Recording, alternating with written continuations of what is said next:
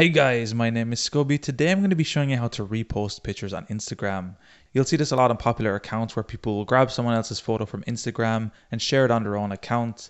Today I'm going to be showing you step by step how to do this. So the first thing you want to do is open up your Play Store and once your Play Store opens up we're going to be searching for and installing a Regrann.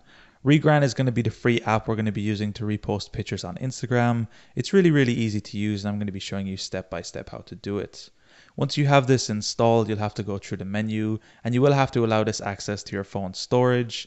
But once you're at this point, all you need to do is open up Instagram.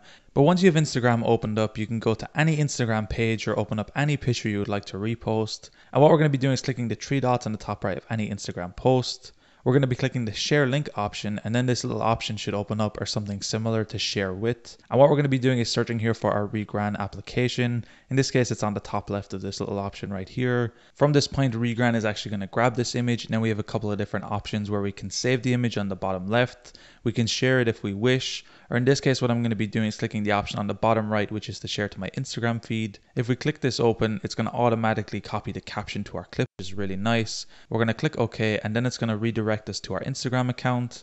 In this case, I'm going to be selecting my Instagram feed option.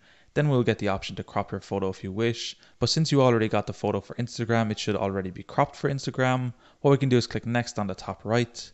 We can set a filter if we wish. In this case, I'm just going to be leaving it normal. Click next one more time. And then what we can do is simply copy and paste our caption here that was taken directly from the Instagram account.